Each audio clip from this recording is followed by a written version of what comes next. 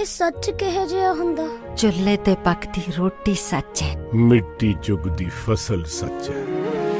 ਗੁਰੂ ਦੀ ਬਾਣੀ ਸੱਚ ਹੈ। ਸਤਿਗੁਰ ਪਿਆਰੇ ਸੱਚੇ ਦੀ ਬਾਹ ਫੜਦੇ ਹੁੰਦੇ ਨੇ। ਕੋਈ ਵੀ ਔਕੜ ਬੱਚਿਆਂ ਨੇੜੇ ਆਉਣ ਨਾ ਦਿੰਦੇ ਜੀ। ਨਾਮ ਦਾ ਗਹਿਣਾ ਮਨ ਆਪਣੇ ਚੋਂ ਲਾਉਣ ਨਾ ਦਿੰਦੇ ਜੀ। ਨਾਲ ਨਾਲ ਚੱਲਦੇ